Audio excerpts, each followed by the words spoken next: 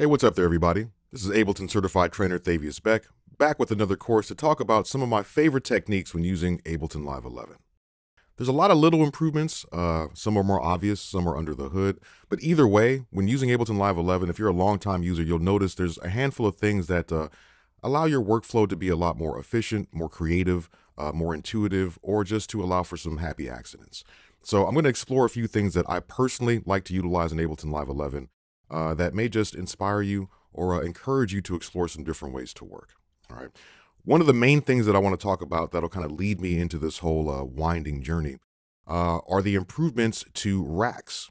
All right. In Ableton Live, uh, a rack is a container for numerous devices, and there's a handful of different racks that we can choose. There's the drum rack, which most of you are familiar with. Uh, there are instrument racks where we can have multiple instruments that are contained inside of one device. Uh, there's audio effect racks where we can combine multiple effects inside of one device, and MIDI effect racks, which we can combine multiple MIDI effects into one device. We can also use these creatively and combine them.